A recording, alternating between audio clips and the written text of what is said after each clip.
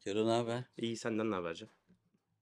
Ben senin böyle bir konuda heyecanlı olacağını Oo aşırı heyecanlıyım. Böyle kulaklarım falan yanıyor yani şu an. bir haftadır düşünüyorum biliyorsun. Aynen öyle. Ne konuşacağımızı da bilmediğin için mi bu? Yo değil genel olarak ben fotoğraf çektirirken bile gerilen bir insan olduğum için kamera karşısında olmak biraz şey. Üstelik sen Zor benim hayat için. içinde hiç öyle değilsindir. Rahat ve tatlısındır. Öyle sanırım. Gene tatlısın da. Nasıl bir heyecan bir anlatsana. U- utanç gibi biraz utanıyorum yani. Hani fazla göz önünde olmak. Canımın Benim içidir ya. Kurban olurum. Ve hep böyle yani çocukluğumdan beri falan hiç böyle şey sevmem. Öyle güzel söyle ki sarılasım geliyor. evet, evet. Kero ya. Canım benim. Yani hep ne zaman böyle birden veya birkaç kişi beni dinlese şey olurum, gerilirim. Çok hakim olduğum konuları konuşmak dışında. Hani hiçbir toplantısı vesaire onlar başka bir şey tabii de. İşte topluluk karşısına çıkma fobisi vesaire gibi. Yani şimdi biz insanlar zannedecek ki Kero böyle çekingen bizim aramızda daha sessiz. Yok ağzımıza sıçan bir arkadaşımız. Evet evet. Yani, Lafını esirgemezsin öyle bir tarafın yok. yo, laf esirgemek değil bir kitlenme durumu oluyor böyle. Hani o, mesela Ne hissediyorsun tam olarak yani?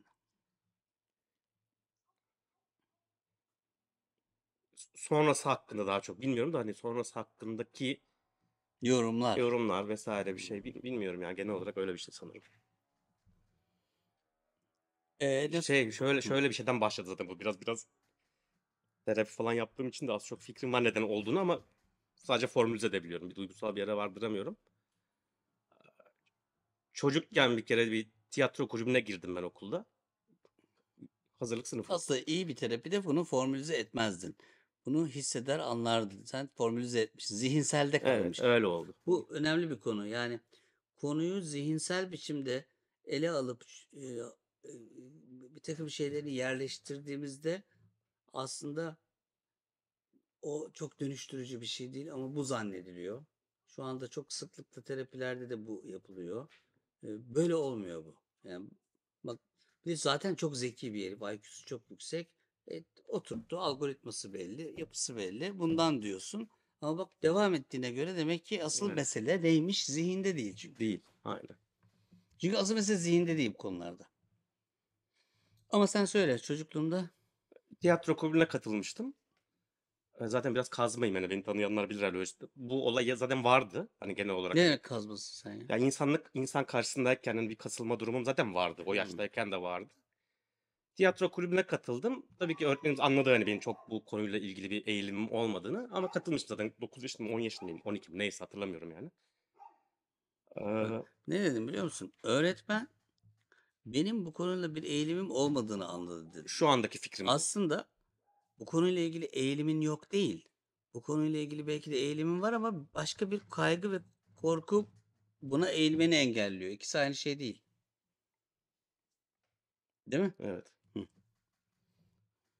Neyse tabii ki katıldığımız için e, herkese bir rol veriliyor. E, o rolde şey vermişti bana öğretmen. E, otobüs durağında direkt rolü. Ben direkt direkt, tutuyordum. Böyle rol, rolüm buydu yani tiyatro şeyde. Kıymetli benim. Sonra durdun mu? E, durdum ona geç çıktım falan. Onda bu elim ayağıma karıştı falan beceremedim. Neyse. Ondan sonra şey tanıdığım herkes dalga geçti bununla ilgili ben. Hem yaptığım şeyi yapamadığım için hem de yaptığım şeyin saçmalığından dolayı falan böyle. Bu var yani bu konuyu düşünce direkt aklıma gelen formüle, formülize edebildiğim şey yani bu. Onun dışında tabii ki üst üste zaten birikiyordur büyük ihtimalle. Ama hani bunu dediğin gibi duygusal bir noktaya taşıyamıyorum çok fazla.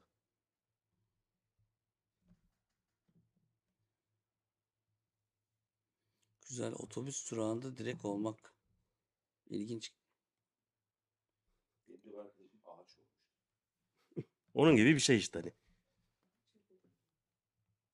Yani bir anlamda seni hem kovmuyor güya ama son derece de işlevsiz ve değersizleştirecek. Ya vardı tabii ki arada sınıfta başka öğrenci rolüydü vesaire arada başka şeyler de vardı ama şu, şundan dolayı büyük ihtimalle bundan sonra en tabii ki en çok dalga geçen benim babam biraz böyle şeydir.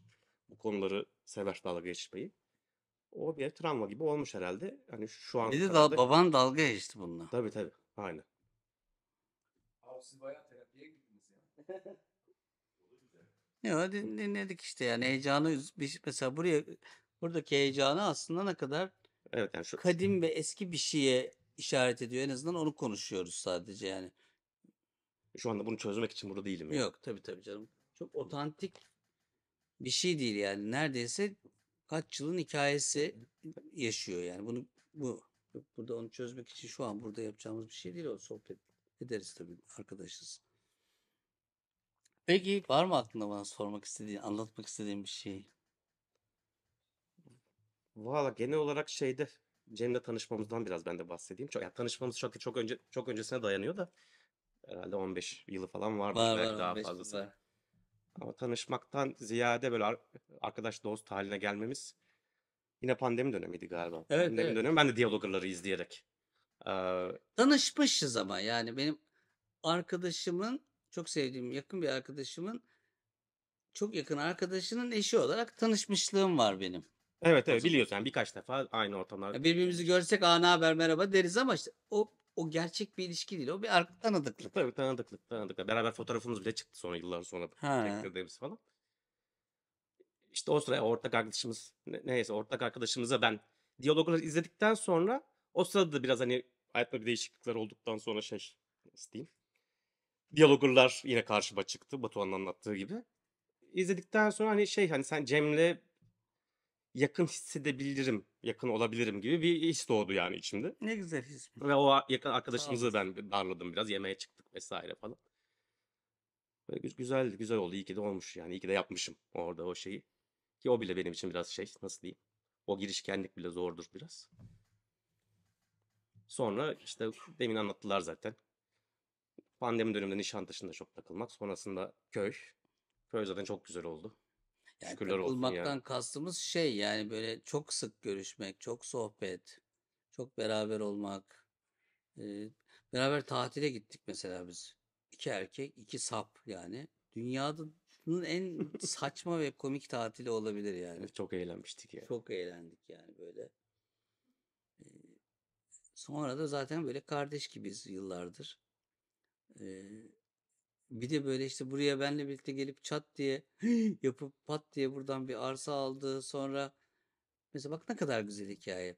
Ben ona vesile oldum. Ee, iyi ki. Sonra ama böyle işte daha düzgün olsun, daha şık olsun, daha doğrusu olsun, her şeyi tam olsun, ahşabı bu olsun, şuyu bu olsun, daha çok e, Kero'da o zaman. Fakat bir yandan da ben bu evi yapıyorum onun gözünün önünde ve, ve benim e, hesapsızlığım mı diyeyim ona? Plansızlık ama Plan, yani ya hesapsızlığım olur, olur olur değişim. insanlara güvenişin. Ha, insanlara güvenişim, bilmem ne gibi şeyler biraz onu böyle şaşırtıyor. Yani izliyor beni. Sonra anlattı bana zaten bunları. Yani bir yandan da bunların fail edeceğini de düşünüyor yani. Etmiyor da bir yandan. Derken Efe ile de çok dost oldular. Bu işte köyde bu süreçle vesaireyle. Efe'cim devreye girdi. Girmiş hatta ya ben orada yokum. Efe buna diyor ki hadi lan diyor saçmalama yürü falan diyor. Bunu böyle motive ediyor, promote ediyor. Ne ediyor?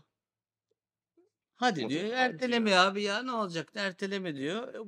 Hep söyler. Onun için o da Efe'ye de çok minnetlerini Evet, hep evet, söyler. evet. Sana da söylüyordur herhalde. Tabii ki tabii ki. Yani şöyle benim planladığım şeyin evin e, mutfağını yaptıracağım masrafla ben evi yaptırdım sonra gibi bir şey oldu. Öyle- Çünkü planladığı ev falandı yani. Evet. Yani İşte mutfak bataryası ve, bilmem ne falan. muhtemelen e, Kero onu 10 yıl sonra bitirebilirdi yani. Büyük ihtimalle Evet. o yani o zaten feyz alıp giderdi. Ve burada Efe devreye giriyor.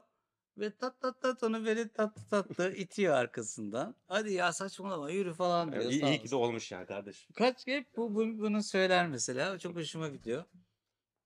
Ondan beri Ben yaklaşık bir yıldır. arkadaşlarımın çok yakın arkadaş olmalarını da çok seviyorum ya. Benden ayrı da ilişkilerin olması çok güzel geliyor bana. Şimdi de hatta e, açık söyleyelim burada sabit yaşayan kişi o. Yani biz hala haftanın bazı günleri buradayız. Kero hep burada yani. Kero arada bir şehre iniyor. Aynı ayda bir falan.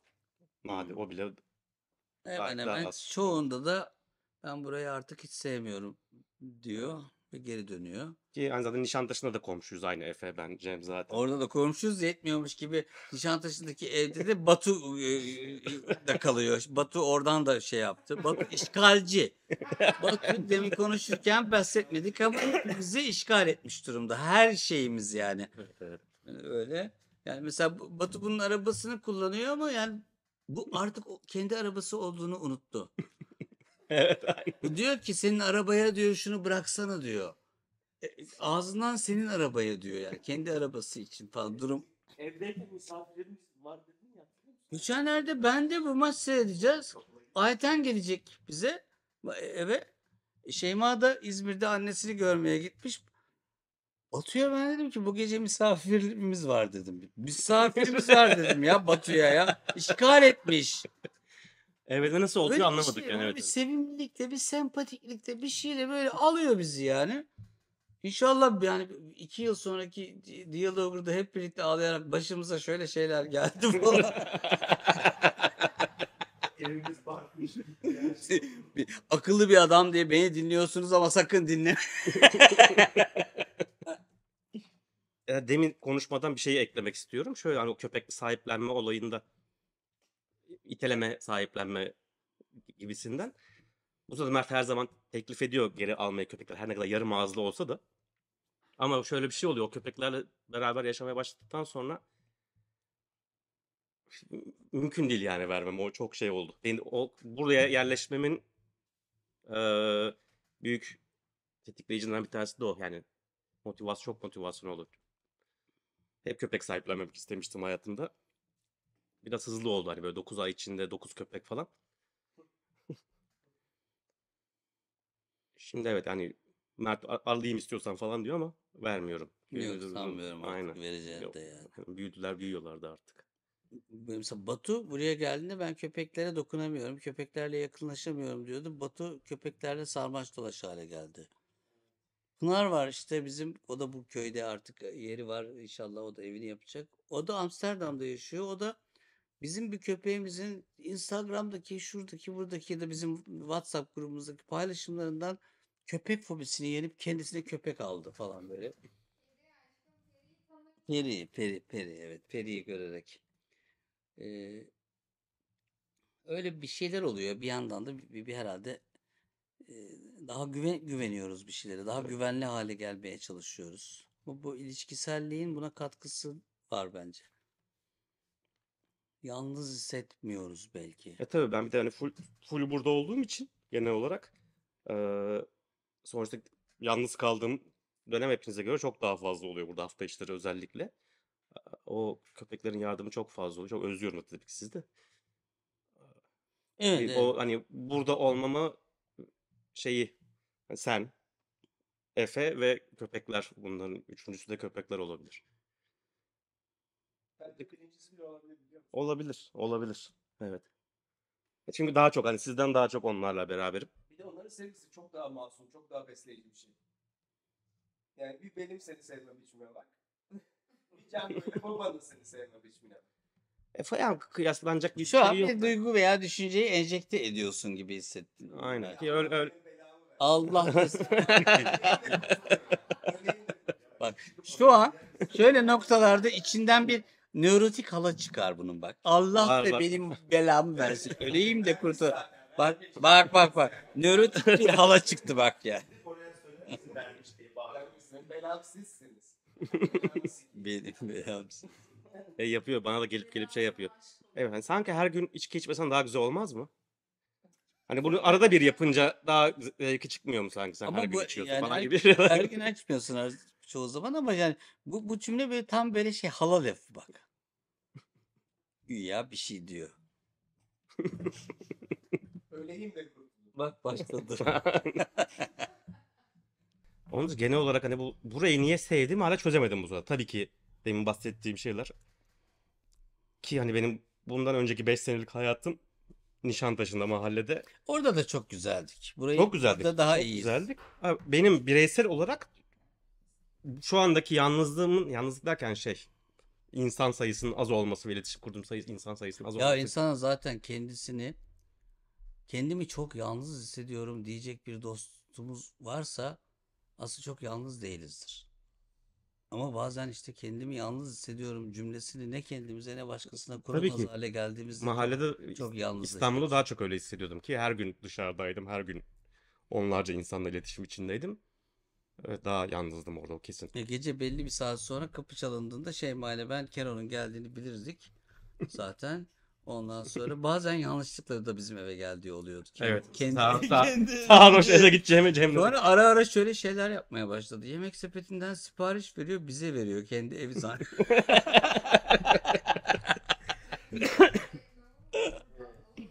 Bu bir şey geldi şey mi bunlar ne falan filan dedi. Anlıyoruz ki Kero söylemiş.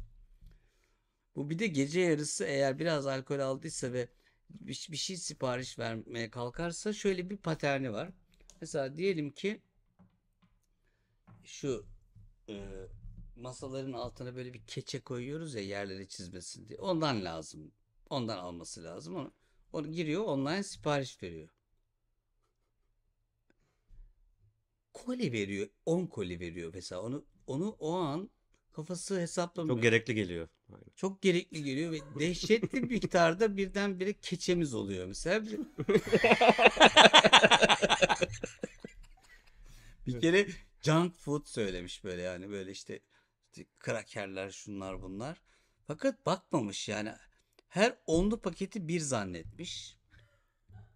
Yani inanılmaz Evet. yani bir, küçük bir bakkaliye dükkanı falan açabilir. Evet, masanın üstüne böyle, böyle şu kalınlıkta şey olmuştu. Junk food olmuş. Sonra zar zor da olsa dağıttım yani insanları.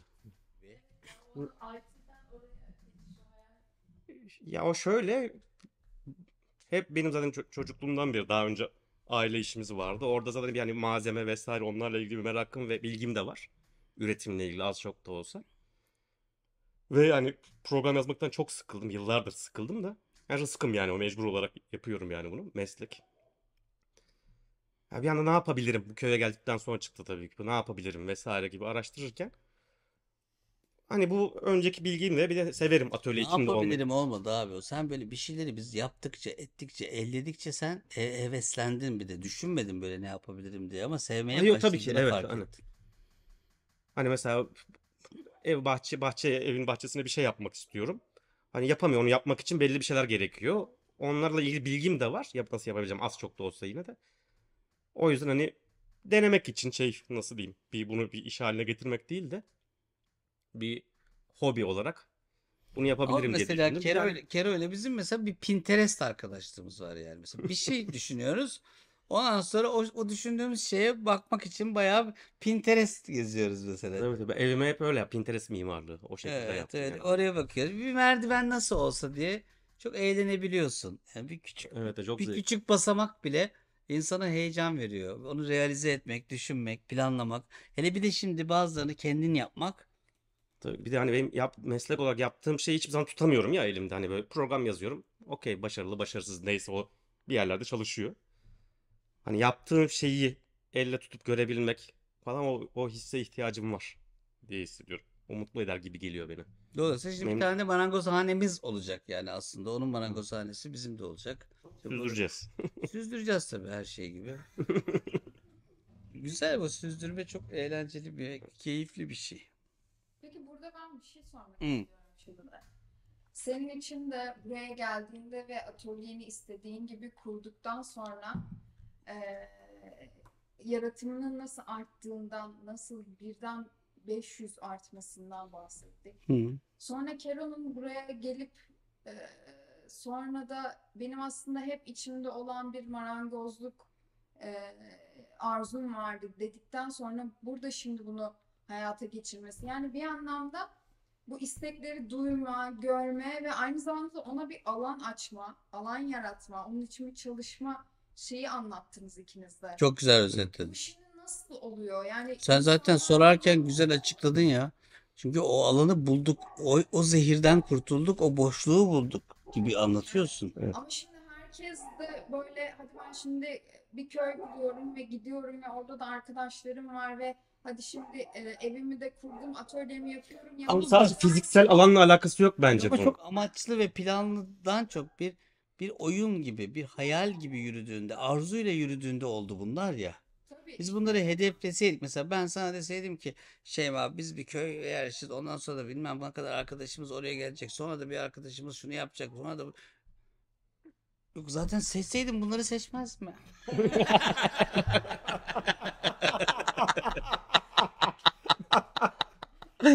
Yok yani hesaplı değildi ki işte öyle akarken o Evet. o aktıkça o boşlukta herhalde bir de intoksikasyon diye bir şey var ya zehir yani zehirden arınıyorsun yani şimdi ya biz burada ne giyiniyoruz? Ya çizmelerimizi giyiyoruz. Mesela birbirimize gidip gelirken burada dolaşırken falan gayet temiz, tertipli bilmem ne ama böyle bir şey peşinde o, onlar büyük zaman kaybı. Yani dışarıdan nasıl göründüğün bilmem ne şu bu bütün bunlardan arınıyorsun. Şöyle konuşmam lazım, şöyle yapmam lazım gibi bir ilişkimiz yok aramızda. Bunlar büyük bir enerji kaybı. O, o- bu, bu, bu açıklık ve ferahlık, küşayiş diye bir kelime var ya bak bugünün kelimesi bu olsun. Hani bazı kelimeleri çok seviyorum. Küşayiş yani küşayiş kazandırıyor insana. Ne demek yani o? Bana bir küşayiş geldi. Çok güzel kelime. Açıklık, ferahlık demek. Ama biraz bu benim dediğim şekilde bir şey yani. Biraz kelimenin kendisinde de bir kudretli de bir şey hissediyorum ben o küşayişin yani böyle. Ama sen peki e, soru sorarken biraz cevabını biliyormuş gibi de sordun. Bir şeyler söyler misin? Ee, cevabını biliyormuş gibi değil. Ben daha yakından olduğum için çok ayrıntısayamıyorum bu konuyu aslında. Şunu sormak istedim. Bir, şu an İstanbul'da evinde, odasında otururken aslında için içinde bir şeyler varken hayatın akışında buna girememiş insanlara e, hani ilham olacak ve onu harekete geçirecek bir şey şu an ne söylerdiniz diye aslında biraz Evet, i- aslında bak ilham olacak bir şeyi biz söylemeyelim de sen kendi boşluğunda bul diyoruz gibi. Evet Yani öyle. çünkü zaten hep bunu bekliyoruz ya. Bir şey bir şey söylensin, bir şey yapılsın. O desin ki, bu desin ki. Şehir zaten böyle. Yani belki de o ilham zaten kendi boşluğunda, kendi durumanda, kendi doğallığında yı söylemek ister. Kendi kendine bir şekilde olmaya başlıyor, oluşmaya başlıyor veya. Yani bu burası yapılırken bu atölye burası böyle ahşap bir- yer arkadaşlar. Böyle direkler dikildi ahşap. Şakir Usta var burada. Onunla yapıyoruz. Şuraya direkler dikildi. Hiç bomboş böyle kel bir yer bu. Ne tavan var, ne duvarlar var, ne bir şey var. İskeletten bahsediyorum. Şeyma da kaya tırmanışçısıdır. Dolayısıyla tırırt diye gitti direğin üstünden o e, iskeletin en üstüne gitti böyle oturdu böyle mutlu mutlu bakıyor böyle o kadar güzel mutlu bakıyor ki yani ben böyle baktım bir fotoğrafını çektim. Benim için en ilham verici şeylerden biridir o fotoğraf. Bitmemiş iskelet ve ahşap bir şeydeki Şeyma'nın o hali. Ayağında çizmeler falan. O zaten ev bence o zaman bitmişti benim için yani. O o duygu bana evi de bitir, bit- bitirtti bence yani. Bunu ben şöyle yaparsanız olur değil ki ilham öyle bir şey değil. Zaten ilham hesaplı kitaplı bir şey olsa ilham olmaz. Bir cümleyle bundan sonra şöyle yapın olsa ilham olmaz. Inspiration öyle bir şey değil. Inspiration zaten beklemediğin anda gelendir. Bilmediğindedir. Boşluktadır. Onun için Newton'ın biz yer çekimini e, çalışırken değil bir ağacın altında ot- oturup dururken kafasına elma düştüğünden doğru anlatırız. Niye? Bak boşlukta. Onun için biz Arşimed'i çalışırken değil karısının çok yoruldum lan bir git e, hamamda da bir kendine geldi de hamamda bulur yani. Bak gördün mü hep ilhamın geldiği yer işte Türk'ün aklı tuvalette gelir diyoruz ya mesela. Tuvalette gelmez boşlukta gelir. Durduğunda gelir. Biraz durmalara, boşluklara, neydi kem kat mı ne? Cem kat. Cam kat. Cam kat. İşte cam kata geri döndük bak. Gene boşluğun e, bo- boşluğa ihtiyacımızı anlatıyorum. Takdirde yok yani. Yoksa birisi sana söyler ve sen yaparsın. O yaratıcılık değil arkadaşlar. Bana bir tane şu boyda, şu bilmem ne de, şu bilmem ne de ağaç resmi yap. Yaparsın abi. Öğrenirsin, yaparsın. O bir sanat eseri değil. Onun için boşluk, durma, bir hale bakma. Biraz Şey örneğini vermişsin sen bir kere. Hatta Hı. burada oturuyorduk yine. Bu yeri değişikti evin. Kitabı halının kenarına koyup bir sanat ve sanat olmama ile ilgili bir şeyler musun? onu bir ara bir tahta koy burada olur da onu tahtada çizerek bir anlatayım. Yoksa yeni bir şey yaratmış olmuyorsun ki sen zaten aslında böyle sanat e, u- uğraşıcısın yani. Sanatla uğraşıyorsun. Sen sanatçı değilsin. O başka bir şey. Yaratmak başka bir şey. Onun için kendi hayatımızı yaratmak için de öyle bizim bir formül vermemiz değil.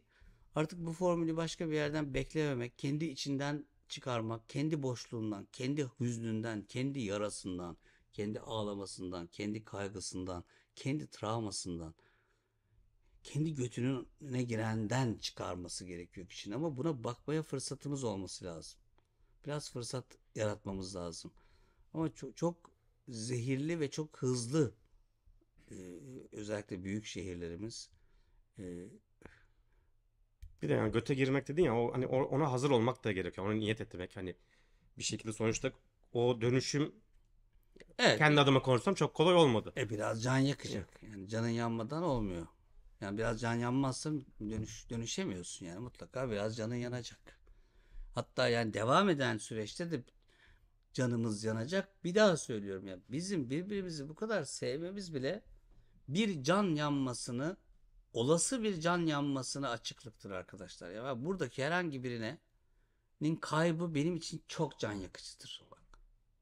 Çok can yakıcıdır yani. Şu an buradaki herhangi birine bir şey olsa benim çok canım yanar. Bak görüyor musun? Benim benim ben bu can yanmasına açıklığı sürdürdüğüm müddetçe aslında samimi ve sahici bir şey yaşıyorum ya da kaybından korkmadığım insanlarla takılırım. Vakit geçirmek. Ki sevmiyorum yani artık. Ara verelim mi? Verelim. Değil mi?